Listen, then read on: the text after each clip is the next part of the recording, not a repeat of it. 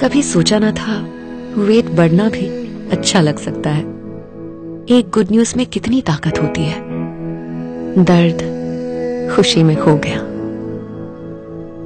बातें प्यारी होती चली गई और आवाज़ कोमल। जब एक हाथ बंधा हो, तब काम करने में ज़्यादा मज़ा आने लगा।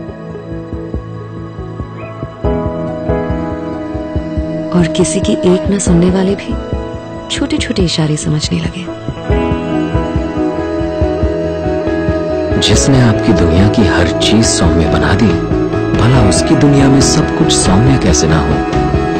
तभी तो जॉनसन्स बेबी की हर बूंद, हर स्पर्श है क्लिनिकली प्रमाणित सौम्य।